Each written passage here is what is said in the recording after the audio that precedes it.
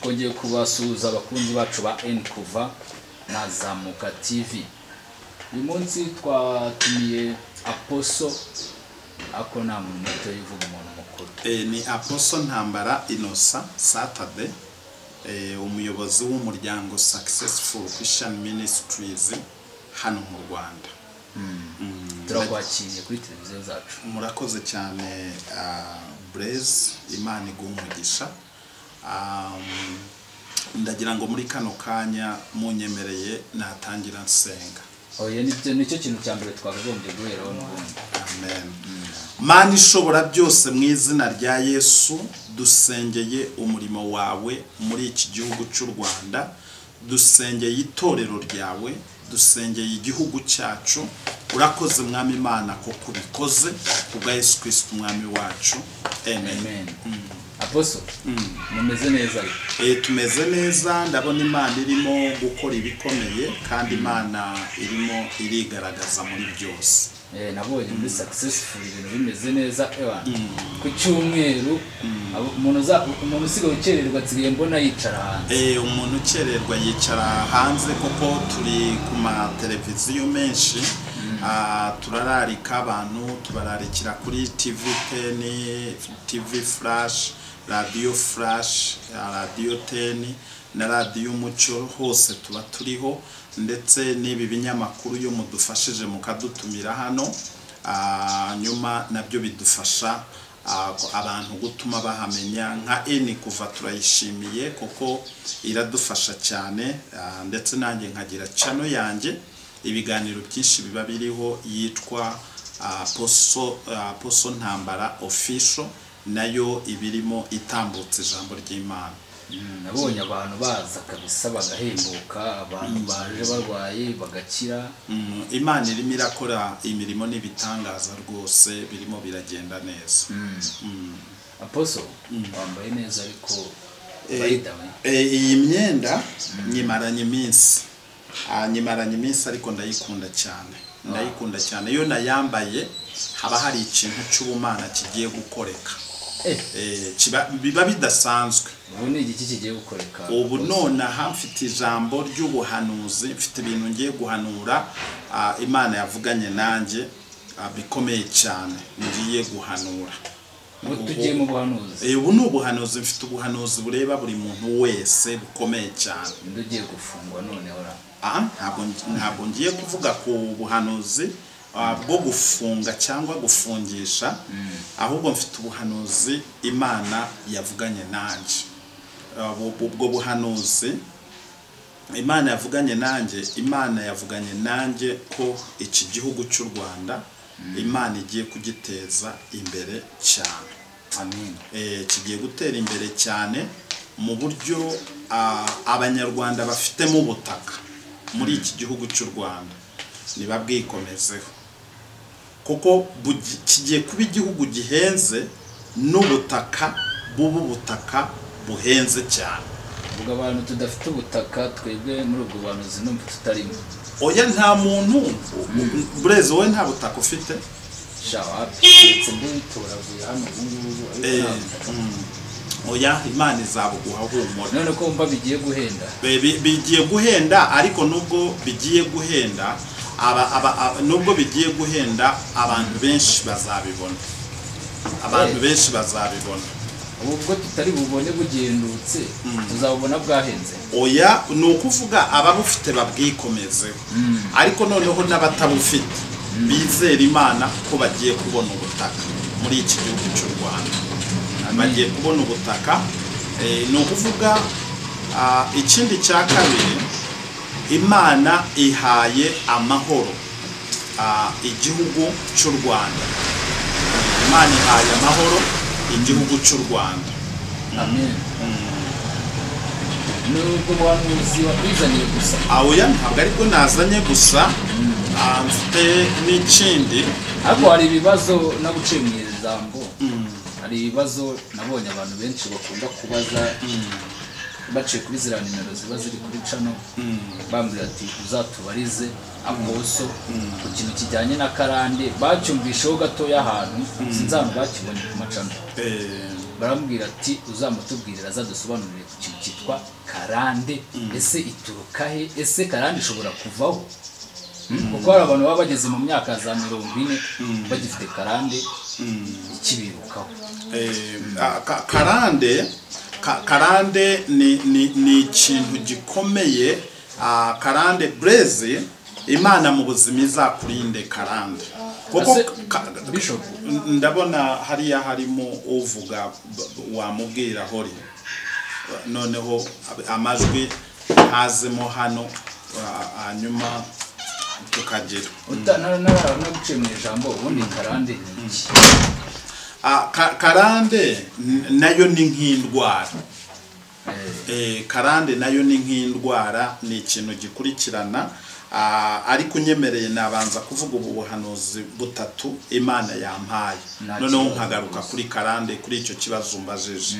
Ni ukuvuga ubuhanuzi bwa kabiri abavugabutumwa n'abapasitori bitegure bagiye gukora umurimo w'imana cyane. Bagiye gukora umurimo w'imana cyane. Eh, kuko insengero zigiye kuvuka amatorero agiye gukomera itorero ryo mu rwanda ni itorero rigiye gukomera. Eh, hari mu buryo jyewe mbibona nabonye leta yacu y'u rwanda ishigikiye cyane insengero iziri inyuma. N'imana ubwayo ishigikiye cyane insengero iziri inyuma. Kandi ikindi ndagira ngo abantu nababwire yuko mu by'ukuri imana yaduhaye umuyobozi mwiza nyakubahwa perezida w'u rwanda paul kagame. Ukunda icyo bita abaturage be ukunda abanyarwanda muri rusange. Rero ni umuntu nkunda kandi ni umuperezida twubaha dukunda cyane. Eh, imana rero imuhaye umugisha. Eh, n'igihugu ubwacyo imana igihaye umugisha cyane. Ahubwo aposo kivuga kuri kuri ubwo buhanuzi bw'uko insengero zigiye kuvuka. Nari nshigajeho icyaga icya- nyuma. Ntacikanwa no kuvuga Eh, ahubwo byaratangiye nabonye na bishop brigitte eh, yaratangiye urusengero. Eh, bishop burujite aratangira ah, ni ukuvuga guhera ah, guhera iki cyumweru ngire ngo niba ari itariki kiriya cyumweru cyashize se. Niba ari itariki zingahe uyu munsi ni zingahe? Ariko agiye gutangira urusengero kuri iki cyumweru. Ngira ngo kiraba ari icyumweru cy'itariki cumi na zirindwi. Eh, eh, eh, imana igiye kumukoresha agiye gutangira urusengero rukomeye cyane. Eh, hanyuma ubuhanuzi bwa gatatu na nashakaga mbabwire aba abanyarwanda bagiye kubona nanone abavugabutumwa bakomeye mpuzamahanga baza hano mu rwanda gukoreshamo ibiterane. Igihe kirageze. Hari hamaze iminsi ibihuha bitari byo a- abapasitori hari ikipe ibanyuramo ibahahamura ibabwira ngo e, abapasitori bagiye kureka insengero ntabwo bazongera gufata mikoro ntibazongera kuba abapasitoro hari abantu babahahamura abatafite za kaminuza ntibazongera gufata mikoro n'ibiki ariko ntabwo ndi umuvugizi wa leta ariko nkunze kureba ibyo leta ikora. Ni abantu barimo ba- bashaka guhahamura abaturage cyangwa bashaka guhahamura abapasitori. A- a- abapasitori nibatuze kandi bakora umurimo w'imana batuje n'ibyo bakora bituje nabo batuje bashikamye. Se aposo naguciye mu ijambo ubundi. Umuntu w'umu- w'umupasiteri bamuhamurisha kumutera ubwoba gutyo. Ubwo bamubwiye ngo agiye kurekura mikoro agahamuka ubu yaba ari umupasiteri? Eh, baba- abari umupasiteri baragenda baka- hakabamo urabona harimo abapasiteri bubatse insengero. Bamwe bafata amakerede bubaka insengero. Abandi bagurisha amazu yabo bagura ibibanza by'insengero. Abandi bagiye bakora ibintu byinshi bareka ubucuruzi bareka za bizinesi noneho bakora insengero cyangwa barazitangiza. Rero iyo bamubwiye ngo wowe kubera udafite kaminuza ntabwo uzongera kuyobora ruriya rusengero abifata nk'uhombye cyangwa nk'upfushije igikuba kikaza muri we. Eh, ariko ntabwo ari byo umupasiteri wese ufite urusengero rwe yiyubakiye. Ku ruhande rwanjye ntabwo navuga ngo ndi umuvugizi wa leta ariko natuzi. Yewe amakuru ahagije ah, y'uko mfite amakuru mu by'ukuri burezi Mfite amakuru? y'uko batakagombye guhahamuka ngo bagiye kureka amatorero yabo.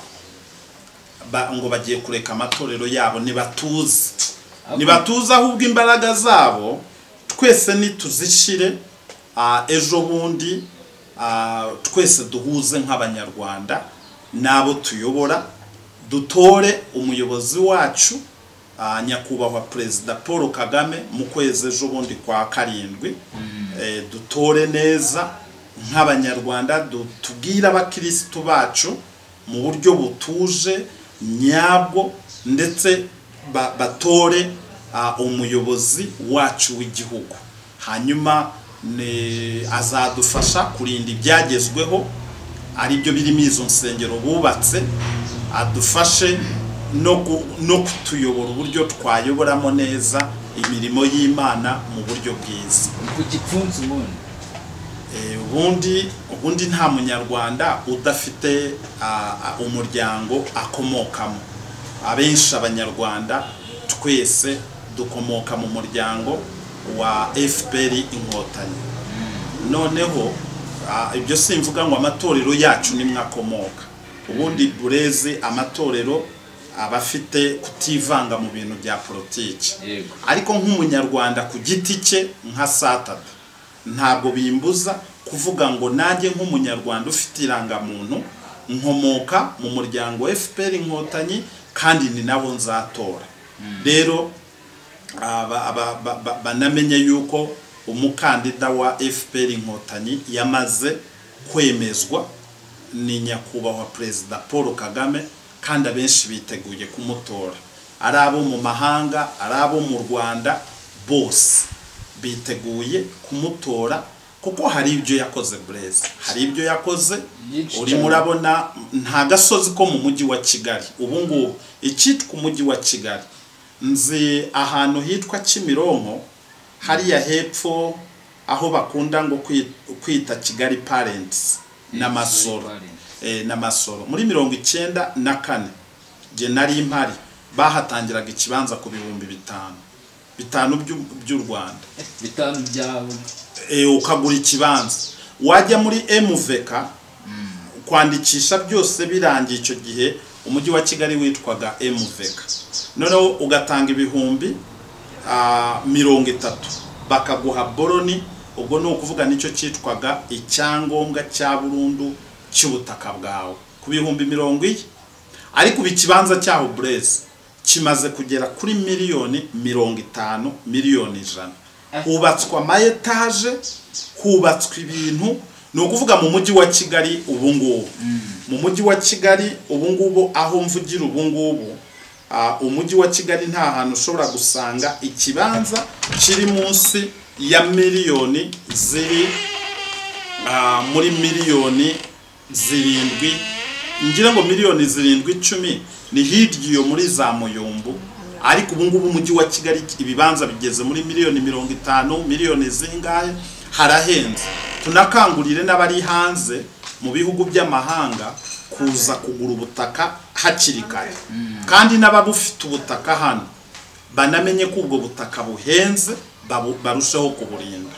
Ubu rero uwo mukuru w'igihugu wadufashije i kigali guhenda akadufasha ubutaka bwacu kuzamura valeri akadufasha guha umugore ijambo akadufasha kubaka nka za convention stade amahoro n'ibibuga by'indege ahantu hatandukanye akadufasha mu by'ukuri kwegereza ijambo abaturage mu by'ukuri n'ubu bagomba kumutora. Ariko noneho icyo ndimo kuvuga gikomeye cyane giye ku makuru nifitiye. Kandi nshaka guha abanyarwanda kuko ni amakuru mfitiye gihamya. Uranyumva neza burezi abapasitori nibatuze nibatuze banabwire n'abakirisitu babo batuze. Nta witeguye kuvuga ngo arabarwanya abakure mu matorero yabo. Rero ibyo bihuha birimo gutambuka babwira abantu ngo abatarize ngo bagiye gukurwa mu nsengero zabo bubatse bazihereza abandi bafite za kaminuza nubwo baba ari abasinzi cyangwa abatazi iby'imana ariko bafite kaminuza barize ibyo rwose ni babikuremo ba- babikureho abapasitoro batuze bureze Eh, ariko nabiseguyeho nabanje kubabwira ngo ntabwo ndi umuvugizi wa leta. Leta ifite uyivugira. Nta n'uwantumye. Ariko mfite amakuru. Nibatuze nta muntu ugiye gukuraho umupasitoro ku rusengero rwe ngo arumukuremo. Eh, ubwo rero bihangane bumve ko batuje. Mm.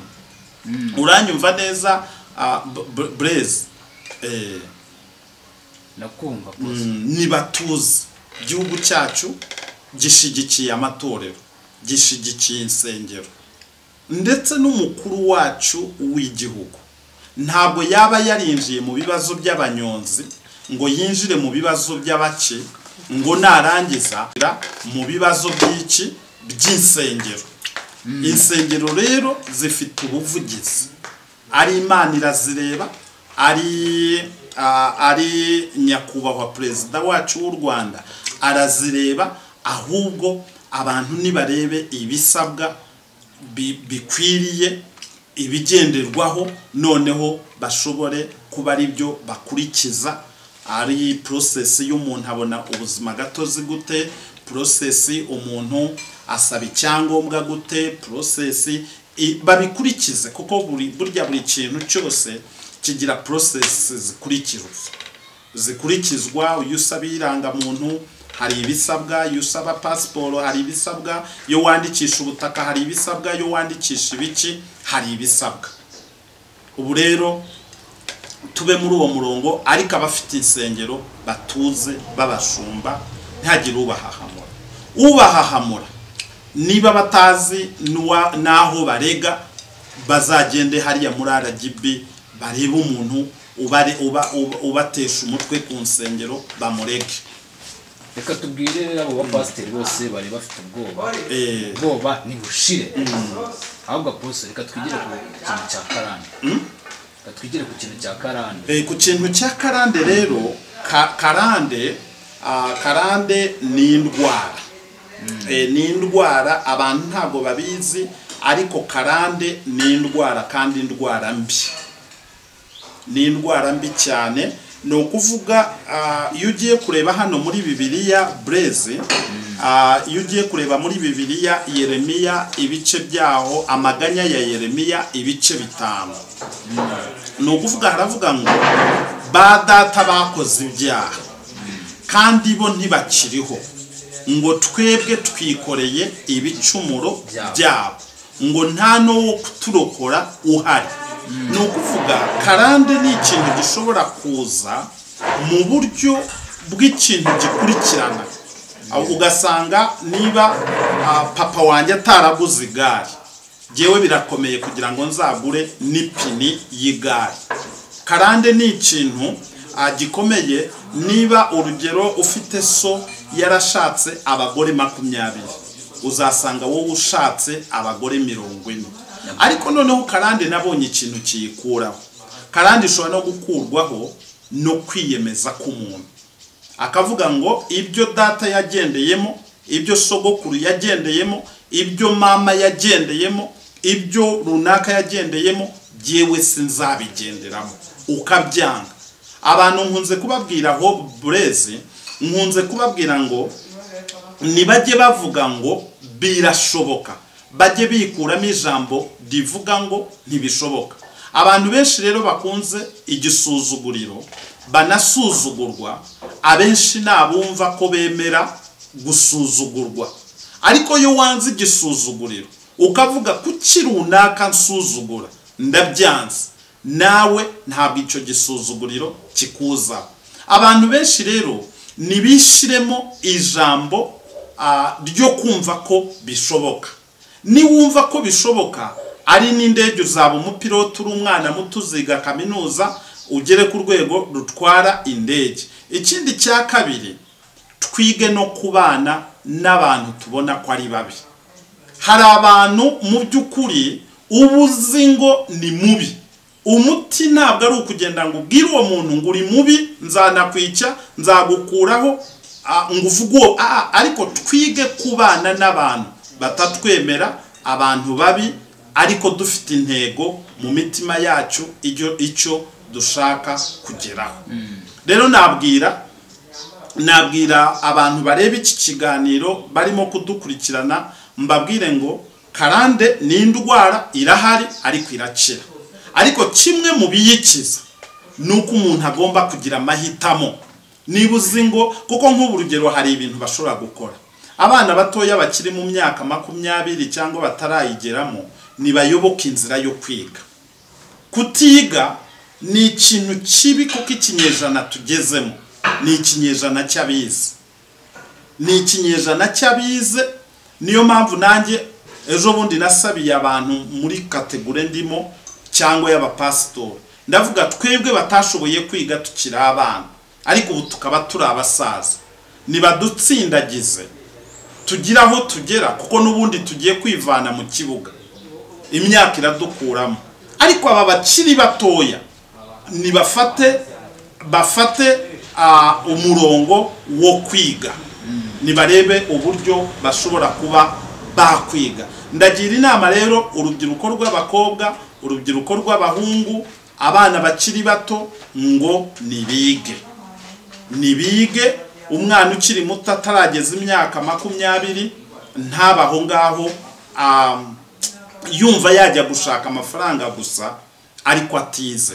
Mu nzira izo ari zo zose zishoboka nibige utarasoza secondary urayisoze utarasoza kaminuza ayisoze nibiba binashoboka umuntu yige na masters. Ariko hari ababa badafite ubushobozi poso reka nta muntu wanze ibyiza nta muntu wanze kwiga. Iki gihugu cy'u rwanda rero mu byo nyakubahwa perezida wacu perezida paul kagame yatugejejeho. Harimo no gushyigikira abantu kwiga. Ni ukuvuga abantu ntibari bafite amakuru ariko na yo reka nyabahe kuko ndayazi. Buri murenge wose wo mu gihugu cy'u rwanda umurenge harimo umukozi ku rwego rw'umurenge ushinzwe education us- ushinzwe amashuri. Umuntu rero niba azi ngo nta mikoro afite nagana urwego rw'umurenge ah, kuko aho ku murenge baba bafite abaterankunga biyandikishijemo bashaka abana barihirira. Harimo ibigo by'amashuri ya leta ah, bashobora kugenda bakabafikisingamo bakiga.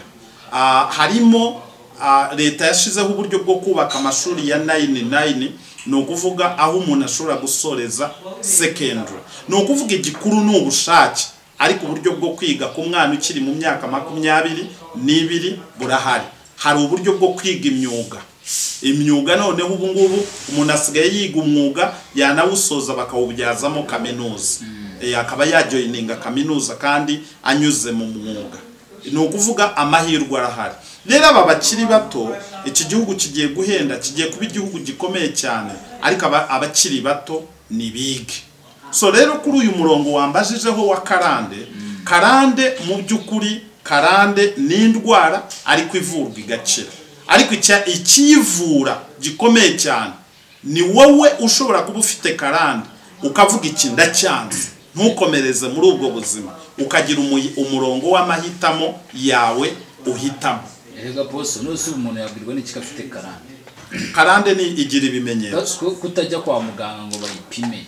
Akarande irimo inyatsi hari abantu ba- bagomba kumenya ko bafite karande kuba ufite imodoka. Imodoka yawe ukabona igiye muri ramberi cyangwa imodoka yawe barayigonze cyangwa imodoka yawe ugasanga mu by'ukuri barayibye. Kuba warakoze ukiri umwana mutoya wagera amafaranga amafaranga akava mu bihumbi ijana byagera miliyoni umuntu akayikwigurizaho amafaranga akayatwara. Ah, wa karande mbese karande ifite ibimenyetso? Nose aposo ko twirirwa mu mihanda y'ino i kigali abantu birirwa bakora impanuka imodoka zabo zigongwa abo bantu bose bari karande. Bamwe si karande bamwe ikuzimu barabasaba. Satani ashobora kugenda agatanga igitero ku muryango wo kwa runaka akavuga ngo uwo muryango ndashaka iyo modoka ikora impanuka n'abarimo bose bapfiremo cyangwa babeho.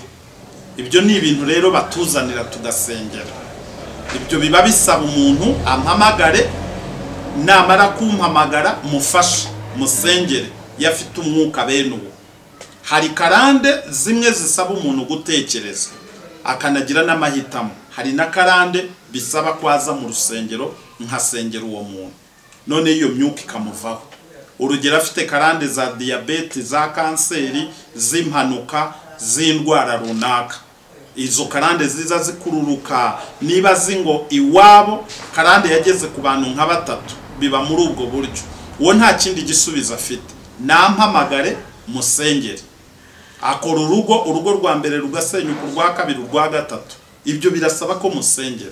Kuko bibiri duha ububasha ikavuga ngo muzabarambikaho ibiganza bakire. Bakire. Eh, byaze karande narinzi ni iyo kubaka ingo nyinshi karande z'ubusinzi karande y'ubusinzi karande y'ubusinzi ni iy'impanuka. Iyo ngiyo ni eh, karande y'ubusinzi iyo gushaka abagore benshi izo ni icyemezo umuntu yifatira nk'ubu urugero mperutse guhura n'umugabo afite abagore ah, we yaraje ambwiza ukuri arambwira ngo jyewe mba numva naryamana n'abagore barenze batanu. Kandi mu by'ukuri umubiri we n'amaraso ye biyamwemerera bibimwemerera. Noneho birangije araza muri biro ndamubwira mbanza umbwira iwanyu papa wawe yashatse abagore bangahe? Arangije arambwira ngo eh papa abagore yari afite sinababara. Bari benshi. Ndangije ndamubwira rero muri abo bagore ufite jya gutoranyamo umugore umwe usigarane umwe urebe. Ariko ubu yaraje mu buhamya arambwira ngo uwo yatoranyijemo arabona yaragiye mu cyimbo cy'aba bandi benshi. Nose urumva abo bandi atarabahemukiye abahe? Abo bandi yaretse. Ariko abandi arabareka ni icyemezo ni icyemezo ufata kuko ushobora kuvuga ngo uraryamana n'abagabo benshi cyangwa uryamane n'abagore benshi. Ariko tunaretse n'ibyo ngibyo. Ba bantu ntabwo bakontorora. Ntabwo uri mu mitima yabo. Ushobora gusanga uvuye kuri umwe uryamanye nawe uwo waryamanye nawe nanone wa kane cyangwa wa gatanu cyangwa wa cumi. Ejo bundi yaryamanye n'undi. Kandi undi amwanduza agakoko gatera sida. None ugasanga uranduye.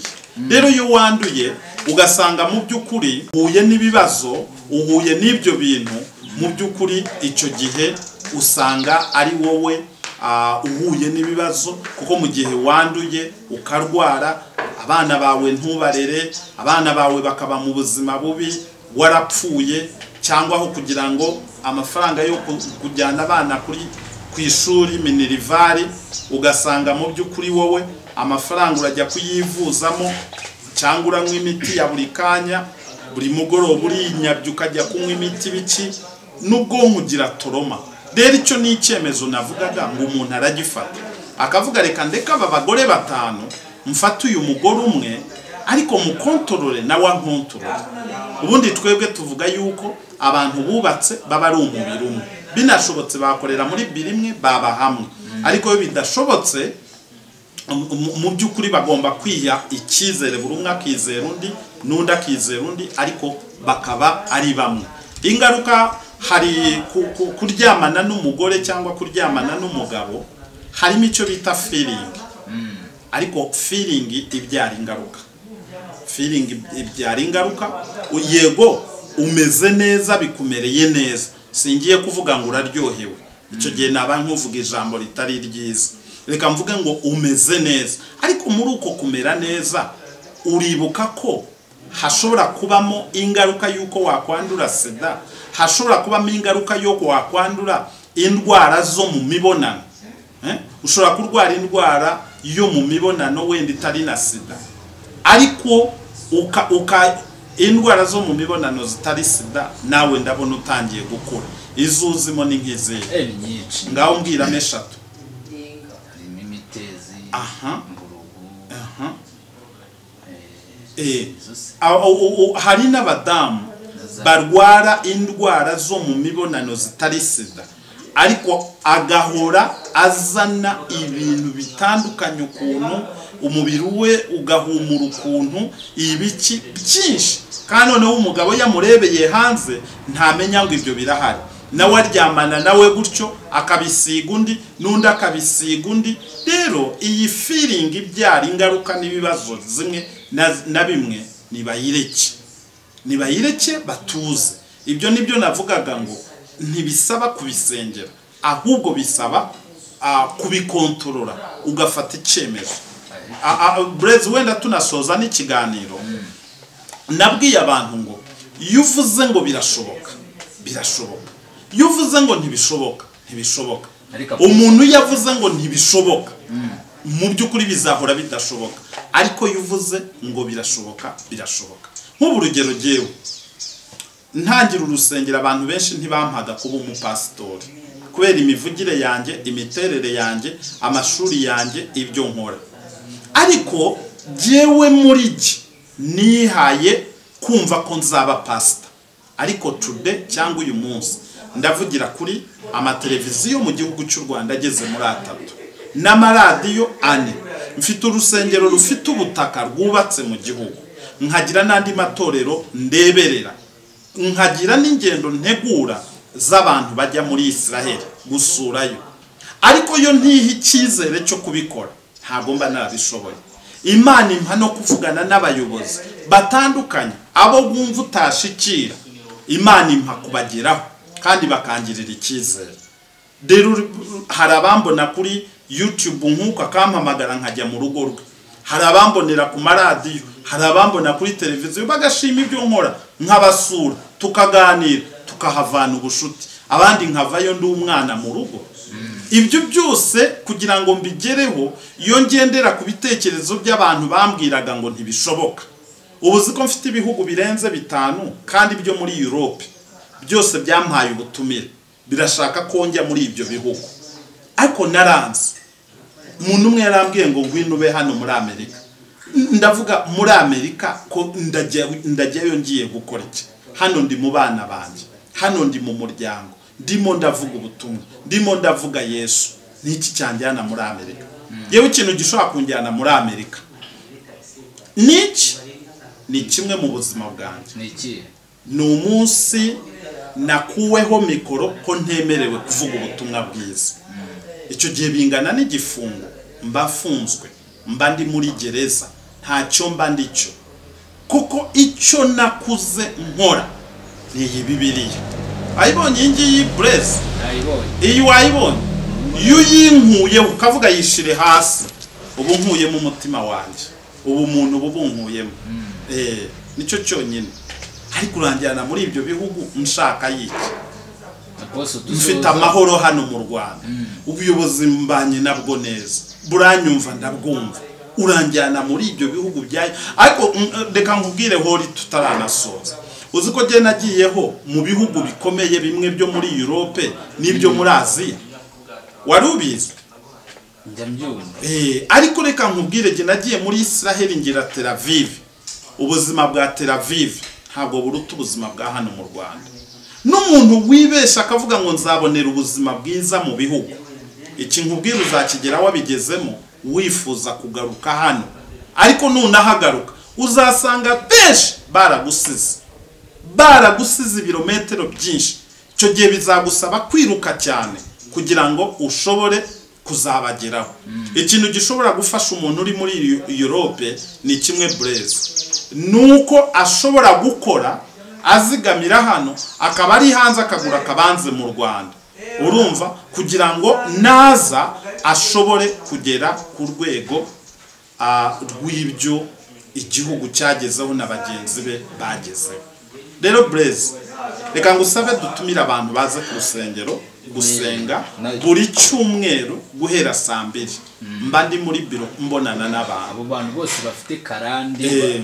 umuntu uyikekaho. Hanyuma guhera saa tatu za nijoro kugeza saa sita z'ijoro mba ndimo gukorera kansoringi abantu bo mu burayi. Abo mu rwanda ni ku cyumweru saa mbiri kugeza saa yine. Nkinjira saa yine mu rusengero nsengera abantu.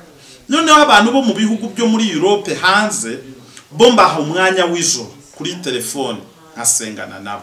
Nomero yanjye burezi uza kuyishyiriraho kuri cano yawe? Eh, ni zeru karindwi umunani umunani mirongo itanu n'umunani mirongo irindwi mirongo itandatu na rimwe. No kuri ca n'ibiriho umuntu waba wifuza. Wayinshiriyeho? Eh. imana iguha umuntu umugisha waba wifuza kuturangisha neza ahantu aho ariho cyangwa se ashaka kuvugisha uri i burayi cyangwa uri mu gihugu inaha mu rwanda yakubona kuri iyo nimero iri no kuri whatsapp. Aposo twasoza udusengera. Urakoze cyane. Reka nsaba abantu imana yemera isengesho. Ah, kandi bumve muri buriya buhanuzi natanze. Ko abavugabutumwa bakomeye barimo ba benihini barimo abavugabutumwa bari international bakomeye cyane. Bagiye gutangira gusura igihugu cy'u rwanda. Vuba bagiye kubibona. Imana yambwiye ko itorero rigiye gukomera kuko rishyigikiwe n'ubuyobozi bwacu bw'igihugu n'imana. Eh, ikindi imana ivugana nanjye yuko mu by'ukuri imana ivugana nanjye mu by'ukuri yuko itorero ry'u rwanda rigiye gukomera cyane kandi mugiye kubona n'abakozi b'imana bakomeye bagiye kuza muri iki gihugu cy'u rwanda. Nanjye ubwanjye mfite uwo ngiye gutumira witwa pastor simiyoni kayiwa wa namirembe christian fellowship. Agiye kuza hano mu rwanda muri successful niba tuzategurira muri arena niba ari intara arena niba ari mu mujyi serena muri mu ihema ryaho sinzi ariko tuzabibabwira vuba. Reka mfatanye namwe dusengera igihugu.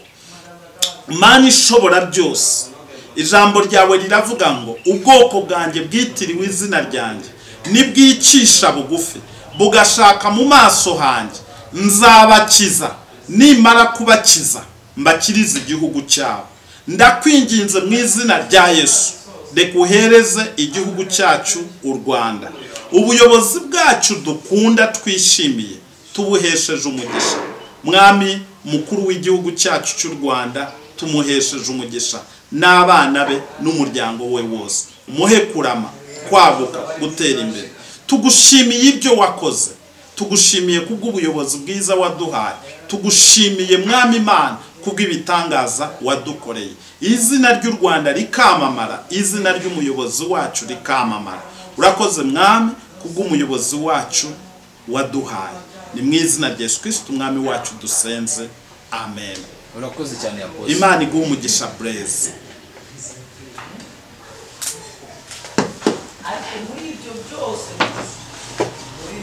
agafeyibe